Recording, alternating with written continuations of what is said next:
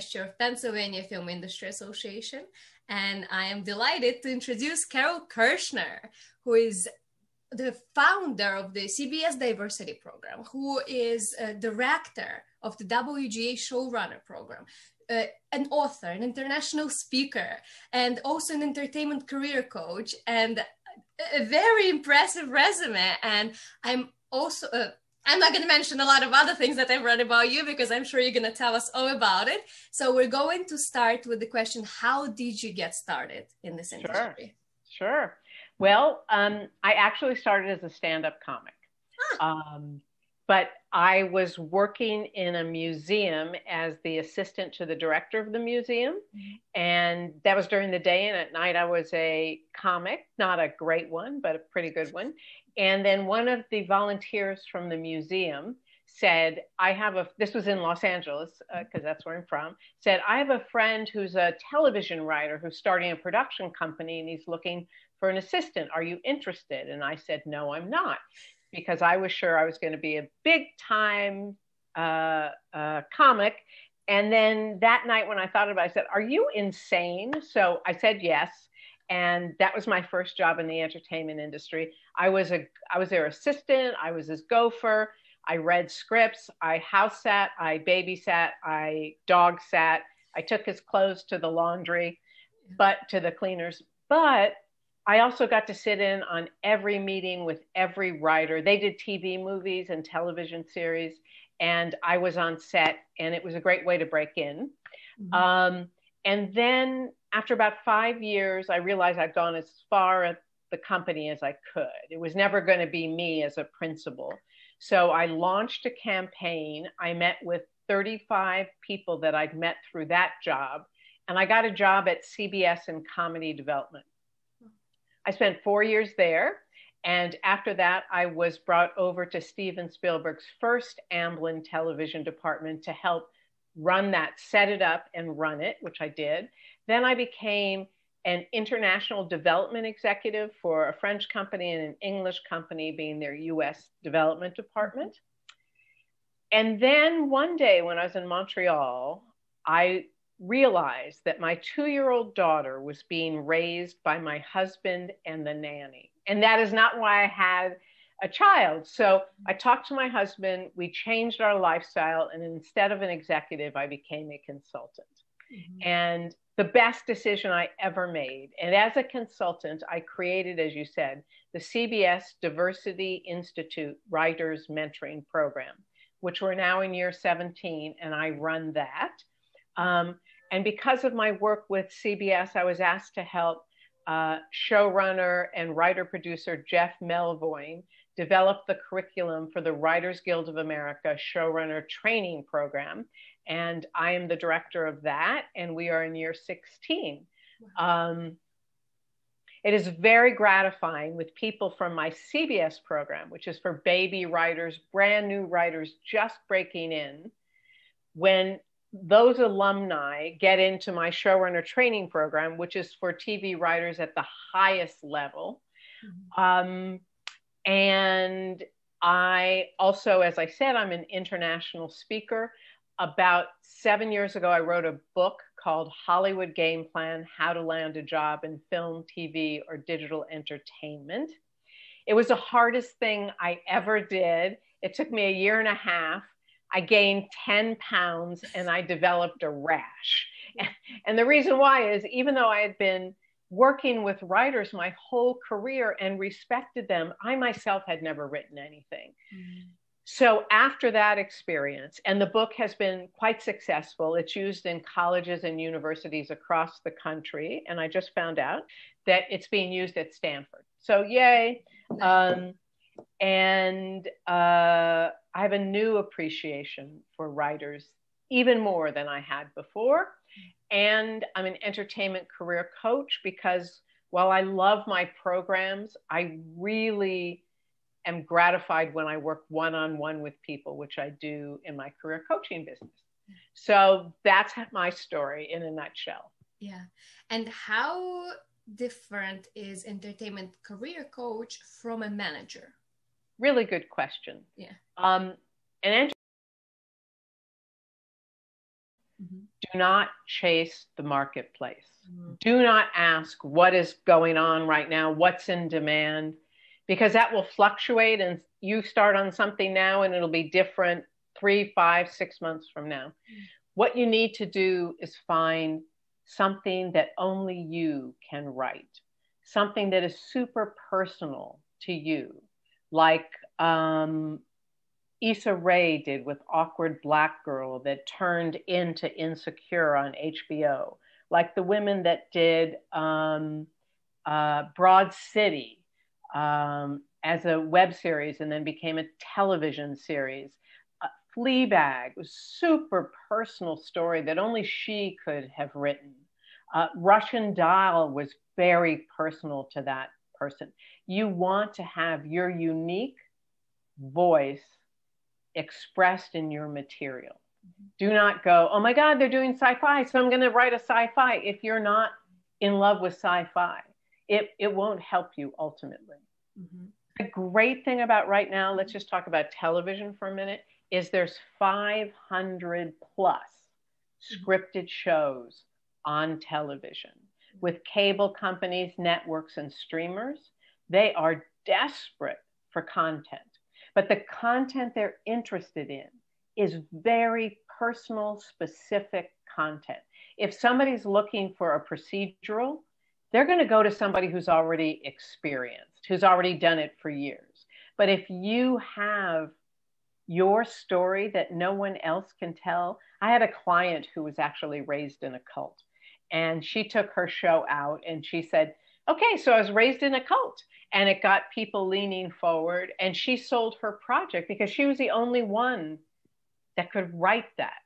And now is the time. There is opportunity for new voices. They are hungry for new voices. They're searching for new voices. So write something that is unique and specific to you but also universal. Like Ramy. Ramy was based on his life story um, and his stand up act, but he has a unique way in and the only person to tell that story. Mm-hmm. Wow, that, that's fantastic practical advice because I think people don't realize that every one of those writers has something so different about them, and that's what they need to really project on, on right. that final draft. With the initial email, and and yeah. that's that's very important. Just like with personal introduction you only have one chance of making that first impression with that first email. And you have so many so much experience with looking through those pitches. What would make you want to read that pitch just based on that cover letter or initial email email? And what would make you say eh, it's probably not my kind of person to work with? Right um, and we're talking about somebody that's pitch again, TV, pitching a TV show or pitching a motion picture, yes. right? Um, what would make me delete it immediately is somebody that started by saying how great they were and how fabulous they are, or more to the point, somebody who asked for something in the first sentence. Mm-hmm. I have a script, I want you to read it that delete, delete, delete, delete. I don't know you. Don't ask me to. I, I did a blog post on Hollywood etiquette, and you could see it at my website, which is carolekirschner.com. And it says, do not ask people you do not know to read your script. Um, so the thing that would turn me off is somebody asking me for that, somebody saying, you need to meet me because I'm fantastic. This is the best project you've ever seen. Let me be the judge of that. This is hilarious. Let me be the judge of that. This will make you cry. Let me be the judge of that. Um, so, or somebody that said, and I'm afraid you're going to sue me. That's a delete right there, of course.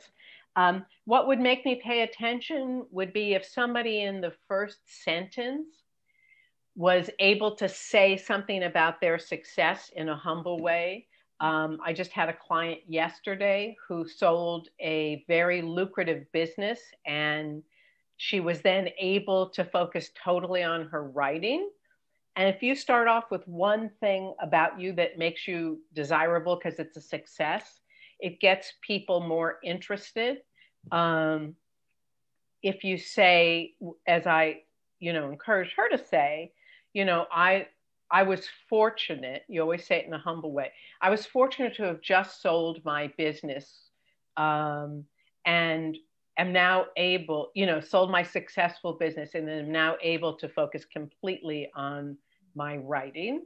So, one sentence on that, um, a sentence on why you like my company, mm-hmm. um, and then a log line that's really compelling I have a script um, that uh, I think you might be interested in. Not, I have a script that you're going to love. I have a script.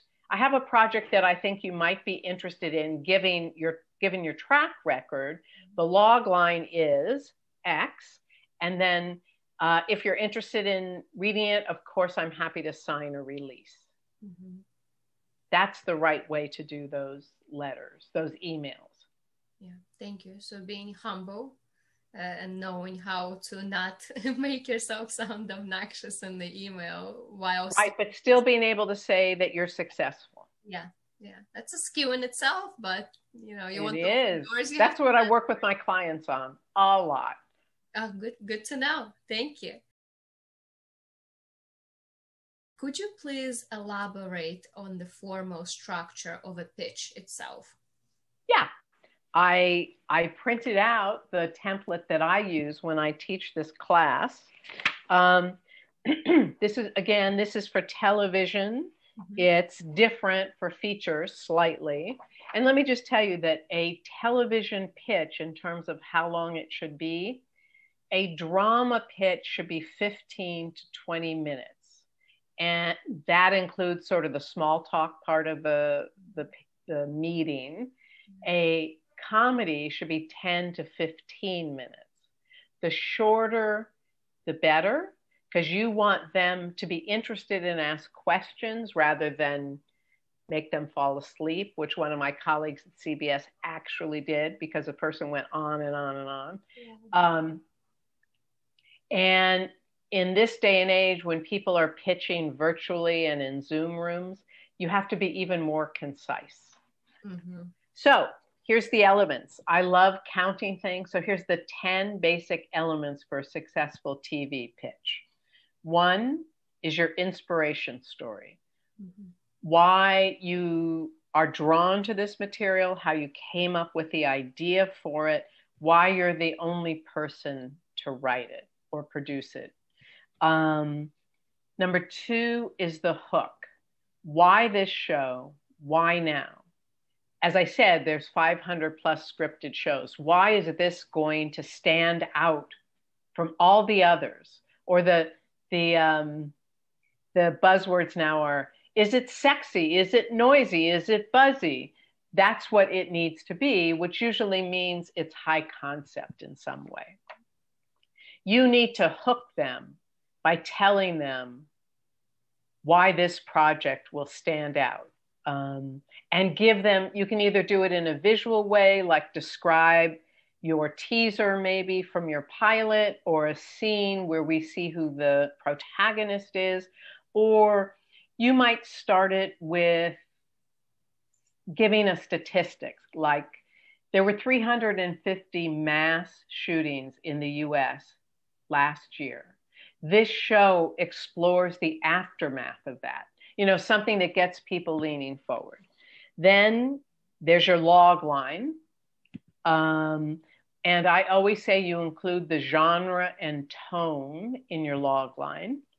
Uh, four is you introduce your main characters. And I always say, don't just say it's Maria, she's a quirky saleswoman. Your characters in a scene mm-hmm. and describe that scene in a way, very short, but let us know who your character is by demonstrating it, not just giving a name and an adjective. Mm-hmm. Um, then, number five, which is very important, is what is the tone of the show? Um, if you're doing a drama uh, and you're doing a dark drama, like um, True Detective. Uh, there's many dark things, uh, dark shows. That's one tone. If you're doing This Is Us, that's a different tone. We we need to know what the tone is. Is it, and if you're doing comedy, is it Fleabag, which is grounded, or is it Young Sheldon or Big Bang Theory or The Neighborhood or something way over the top? Is it grounded? And grounded means is it grounded in reality? Or is it larger than life? Or is it science fiction? Is it horror? Is it uh, fantasy? Is it supernatural? Um, that's the genre. And then the tone is sort of the reality of your series. Uh, six is the world. Explain what the world is, demonstrate it, and let us know why we want to spend 30 hours in this world. Like, is it is it light and bright like Mrs. Maisel? Do you want to be in that world? Is it creepy like American Horror Story? Describe what the world is. And if it is a genre piece, describe the reality of the world. Can can people fly? Do people come back from the dead? Is it about zombies who will eat you? And if they eat you, you die. Um, we need to know what the reality of the world is and, and what the rules are. Seven is really important in television. It's the series engine. What is the heart of the conflict that indicates that this show can go five seasons or six seasons with 10 episodes or 13 episodes or 22 episodes each? Is the heart of the conflict strong enough that it'll drive the show for that many episodes? Then eight is you touch on the pilot story.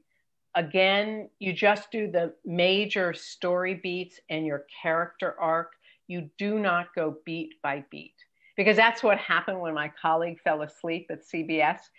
Somebody who should know better, who who who was successful as a TV writer, came in, said what the world was, said who the characters were, and then said, "And we open on this happening." Then the next scene is this. And, and literally, my colleague fell asleep, closed his eyes, fell asleep. The writer jumped up and said, He fell asleep. And my boss said, No, no, no, that way he just closed his eyes for a minute. So do not go beat by beat. It's just the major points that you want to touch on, including the character arc, and always end your pilot story on a cliffhanger. That is what makes people tune in for the next week or much more common now is click through to the next episode. So you have to have a strong cliffhanger. Then nine is you talk about the, the season arcs. So this is how season one begins and how it ends, season two, season three. All you need is three seasons, mm-hmm. and you want to end each season on a cliffhanger. We discover that Maria and Carol really are not dead, and they're pissed something like that that makes you say i have to tune i have to wait the six months until the next uh, season and then 10 is a coda which is a summary. And in the coda it's kind of like the hook again. You're saying why people will watch it without ever saying people will watch it because or it's a really good show so people will watch it. You want to talk about the universal themes of it and why now is the time for it, why it's timely, you know, and that's the elements of a successful TV pitch. Thank you. That was a really great elaboration. So for the uh, for the three seasons, uh, writers should not have all the scripts written out. It's just the treatments and just overall description of what's happening. All you need in your Bible is a paragraph maybe two about each season. Mm-hmm. That people, I do not encourage people to write every episode because if you're fortunate enough to sell it, they're going to change it. And they don't want to read every episode that you've written. It's not going to end up like that. So mm-hmm. write a pilot and write a Bible and know what your season arcs are going to be, but don't write the episodes. Mm-hmm. If people are interested in seeing a great sample, they can email me at carol at carolekirschner.com and I'll send them the Stranger Things Bible, which is a fantastic example of a great Bible. And they'll see what should be included in the Bible, which should also be included in the pitch. Thank you. Thank you. Okay. We'll sure to put the, the website uh, in the description so everybody knows where to go. Sure. Do you think that during pitching, uh, writers should include uh, cast who they see as possibly a part of the show because there are different different thoughts on that that sometimes a network might not like a specific actor and you might not know that but it also helps them visualize what the show is going to look like. So what are your thoughts on that? My thought is that you say you talk about the character you say sort of think emma stone. So i think you can mention a star's name, but lightly. Don't say only Issa Rae could play this. Mm-hmm. Don't say you have to get um, Nicole Kidman. Mm-hmm. Just say when you're describing the character, think so and so. And I wouldn't do that for every character, just the main character. Okay. All right. Thank you. If there's interest in the show, hopefully, uh, then what happens next? What are some steps, some timelines? What should sure. readers expect? Sure. Again, this is television. Mm-hmm. If a producer shows interest in your project, one of two ways. Either they read your script and they're really interested in doing that script, or they read your script and they like the writing, but the project is not for them, but they'd like to find something else to do with you, you come in and pitch other ideas. So you have that meeting. He, here's what the path looks like. So you meet with a producer. The producer is interested in it. The producer either reads your script or hears your pitch and gives you notes. Everybody gives you notes, by the way. So you address those notes. And when the producer's happy, they will take you to the studio. And the studio is who pays for the project. The broadcaster, um, CBS, ABC, NBC, and cable channels, basic cable channels, and premium cable channels, the studios pay the deficit. And what that means is if you have a show that costs a million dollars, the network might pay 300,000 but the studio is going to pay 700,000 so the studio is invested in it. So the producer takes you and the project to the studio executives. If the studio executives like the project they will give you notes and they are not paying you at this point nor was the producer paying you. You address their notes and they like it and they're enthusiastic about it, then they take you and the producer and the project to the ultimate buyer, to the network or streamer, streamer or cable channel. And then if they like your idea, they give you notes. and if you address those notes, if it's a streamer, what they might do is say, We really love this script. They'll buy a script from you. Um, we're not going to make a pilot, but we want you to start a writer's room, a mini room. And we want you to write six episodes. And we will decide based on those six episodes whether we're going to give you a series order. If it's at a network or a basic cable channel, if they like it and you write a great script, they'll order a pilot, they'll produce the pilot, and then based on the pilot, they'll decide whether or not they're going to greenlight the series. Wow, that's a lot of steps and a lot of notes. There's it's all notes all the time. Yeah. How would one go about becoming a showrunner on mm. his or her own show? Uh, so uh, we're talking about the ones who want to go beyond just selling the script and actually getting involved. What are the chances of that happening, and what kind of skill set should they have for that to happen? Sure. Um, very, very rarely does somebody sell a project and walk away. Okay. That just doesn't happen. It happens in features, mm-hmm. but in television, the writer is the queen or the king, and they need that voice. They need that perspective in order to have a successful series. So it is very unlikely that you're going to write a pilot, they'll make the series, and then you walk away.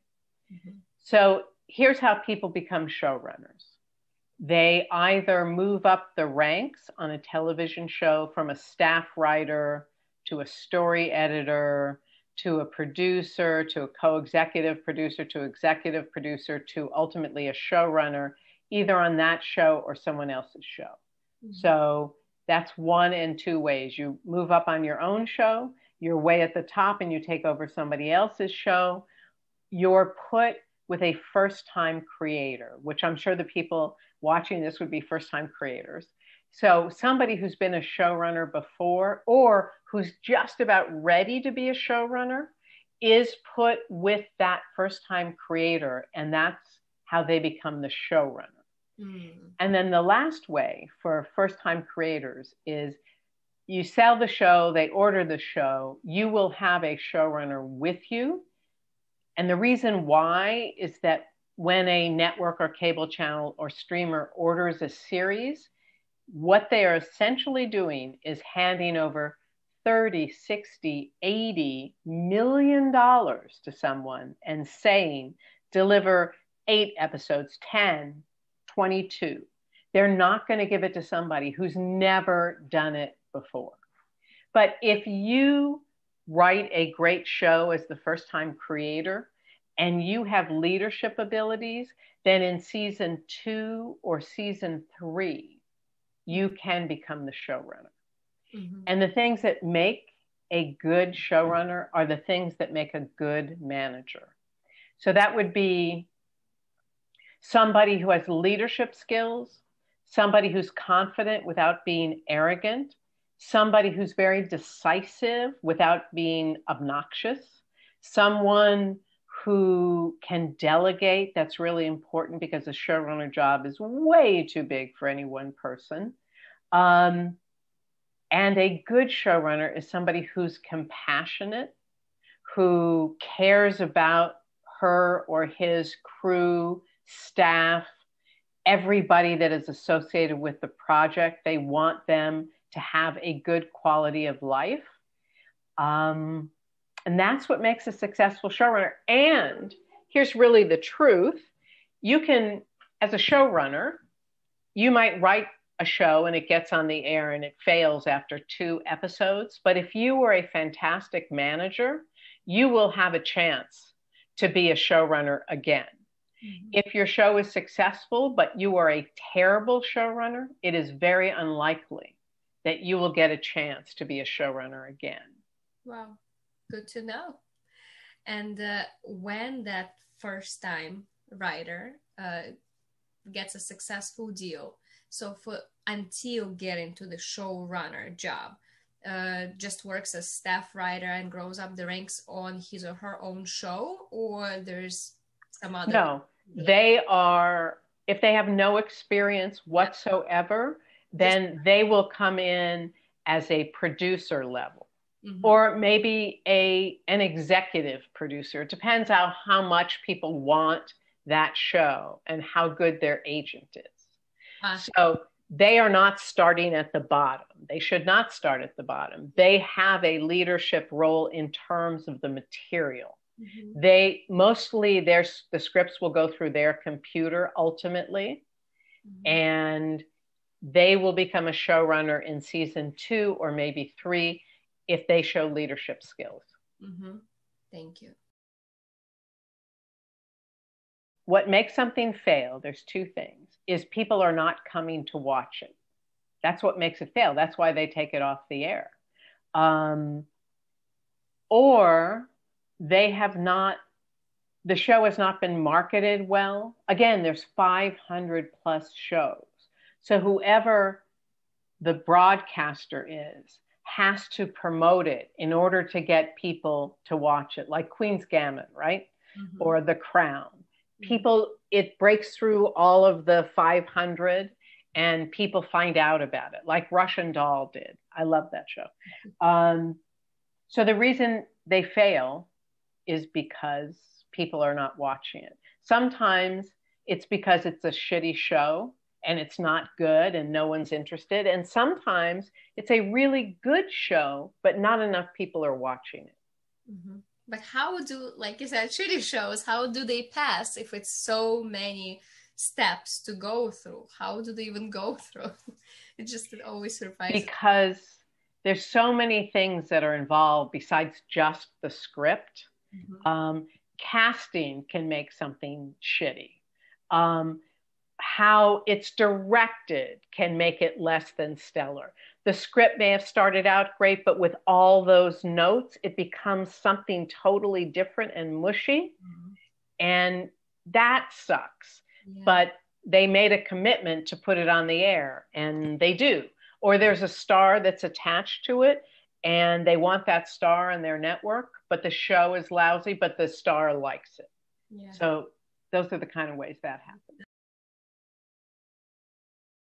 Do you think that aspiring writers who are just at the beginning of their path need to have a, uh, an agent to submit their work? Or do you think it's possible to pitch themselves to get that first sale? Because then agents start coming to you. Absolutely. Um, now, let me ask you my expertise is in television. I know something about features, but I can speak mostly to television. Um, you really do need an agent or manager if you're just starting out to open the doors for you. They will um, make the calls, they'll introduce you, they'll get your material out there and help those meetings get set up. With personal relationships, you can get directly to them. Mm-hmm. If you win one of the top contests, they producers will find you. Um, and that 95% of the time you want an agent or manager to get you in the door. It is hard to do it on your own. Some people are able to do it through social media, through LinkedIn. Um, I don't know how successful they've been at that. Um, but if you can get an agent or manager, that is going to help your career tremendously. The other thing, though, is that you need to foster relationships within the entertainment industry. And you can, if you have a personal relationship with somebody and they respond to your material, say, Would you be willing to make an introduction to a producer for me? Mm-hmm. How different is entertainment career coach from a manager? Really good question. Yeah. Um, an entertainment career coach you pay me mm-hmm. upfront, mm-hmm. and I am just there for you. I am there to help you strategize your career. I am there to support you. I'm there in terms of accountability. A manager is somebody that you pay. When you make money, you give them a percentage, usually 5 or 10% of everything you make.